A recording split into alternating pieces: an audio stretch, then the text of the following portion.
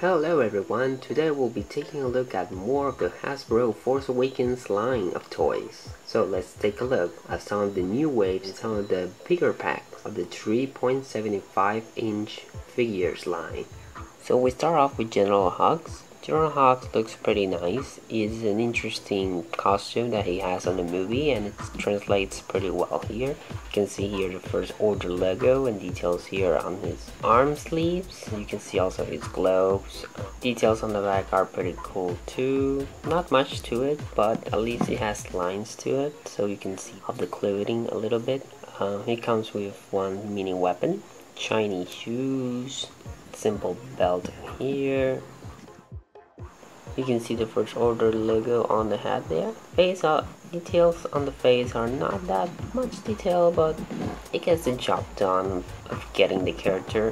What I don't really like of the figure is that his head is facing a little bit too down.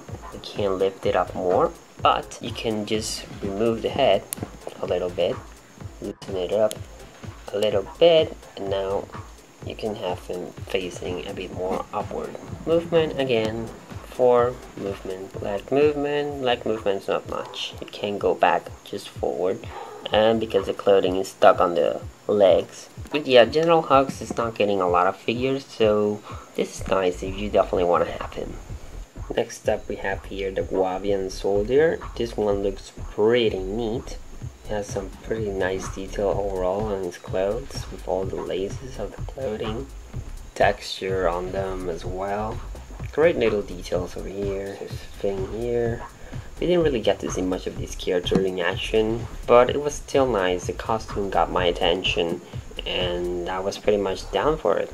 Great painting, great attention to detail. I like that they did the red shining more here, more dark red here, so that play out well the colors. He comes with a weapon. Again, crappy painting weapons, but eh, better something than nothing. Movement, again, four piece movement. Again, these figures don't really go much to the back on the legs, but he can sit, which is nice, and very movable head, so that's nice. So yeah, uh, great piece of collection. You just want to collect them all, or uh, it's a great character to use for different things. Next up, we have the First Order Snow Trooper. Um, these troopers overall look very nice. I was very impressed with how they turn out. They have some pretty great details on them. Movement is okay. Again, no back movement, but the little thing here can be removed. It comes with a nice weapon. It has two colors at the very least. It's not like the other ones that's just a plain gray, boring. Trooper helmet moves around pretty good all things considered, of course. And overall, pretty nifty, nice details to it. I like it. I was pretty impressed overall by it. Here we have the First Order Trooper. Um, he looks pretty nice too. Great, great sculpt on the helmet. Great body overall too. Um, it is noted that this one is a white softer paint, whereas the snow one was a more shiny paint. This one's just more soft white paint. Let me try to show you here. As you can see, they both have the same lighting, but you can see it's more shiny here, the armor of this one. Whereas here you see the light pretty flat, but here you see more, much more shine overall. This is shinier and shiny here and overall. But still, they're pretty nice, decent figures together to collect the troopers. Here we have a Toys R Us exclusive Poe Dameron. Here's the package if you want to see it. It's basically the same armor package things, but this time it's a Poe Dameron with the pilot clothing. It's a pretty nice figure. You can actually remove this and put it like that. So you can add the new armor that comes included. Uh, but first let's take a very close up look at the figure. Um, it's pretty nice. The whole costume looks pretty great for the character. Nice little details of the cables that go around and lining here too great detail of the clothing having detail that it's folded and all that stuff. The sculpt of the face is the same one from the Poe Dameron jacket figure that comes again in one of these packs. That one you can find anywhere. It comes with a little pistol over here too and you can attach that pistol over here. Let me show you quickly here. Uh, there we go and there's your little pistol over there and here's are some of the armors you can put on him. You need to remove this first. There you go. And you put this right here. Not really a fan of these armors personally. Um, they look pretty weird. They look too big for the characters overall. And they don't have any relationship to the movies at all. But eh. the bad thing about this figure too is that it doesn't come with the black hole helmet which is a real shame. Instead we get these armors. Um, they're not terrible. They're nice ideas. I just wish they look better on the character. It just makes the character look so big and unfitting for it. But anyway, as a figure, it's really nice. And if you really want to have the complete collection of these 3.75 figures, this one is great because the other one they have, Poe, is the helmet but it's attached on his head and it's kind of bad personally. This one can be a bit more expensive because they bring that armor that's supposed to be amazing but it's not.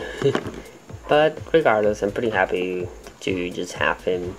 So to continue a little bit with Poe Dameron, here we have the jacket figure. It also comes in that package that I show you. It comes in a similar package to that one. I don't have it right now here, but you can see this one I'm very happy with. Um, I tend to like more Poe with his jacket. I don't know, I think it's a cooler look for him. Um, jacket looks nice. He comes with the weapon he shoots at Kylo Ren at the beginning so that's pretty cool. Face is pretty nice too overall. Great, great attention to detail on the clothing. Again with the bending. So overall I'm very happy and I'm just glad to have both of his versions in the end. As you can see the sculpts of the faces are pretty similar to them. But it's nice to have both variants. So here's how he looks with the helmet and equipment he comes with. Um, still looks a bit odd, but I kind of like this one a little bit better. It fits a little bit more better on the character, and it's a helmet that's actually from the movie that comes. Um, this is the helmet he wears at first at the beginning of the movie, so that was nice. And it's an interesting armor. I could play a little more around with it. And last but certainly not least, here we have Boba Fett. He looks pretty great. Um, the helmet sculpt looks amazing. Great little details everywhere with the Lego here. Weapons, armor, colors are all nice. Very nice detail. Another Lego detail here. Um, I like that the cape here is actually pasted in because my other capes would just rip apart as you can see uh, it's removable the jetpack too. The jetpack looks kind of crappy I will deny you that it doesn't have any color to it. But I, it's something that can be worked around I guess. But otherwise all the other things are very well detailed. And the weapons is actually pretty nice too. Um, he comes with this armor pack.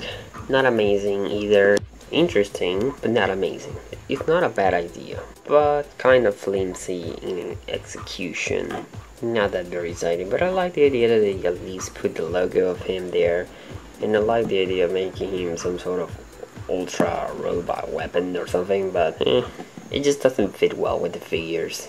Again, it looks too big for the character. Still, if you're looking for a Boba Fett to add to your collection, this one is very nice. Again, it's a little bit more expensive, but I think it's definitely worth it, the quality overall of the figure. The armor figures may be a little hard to recommend because of the price, but they're still very nice if you decide to go for them, although you may want to just go with the Black Series.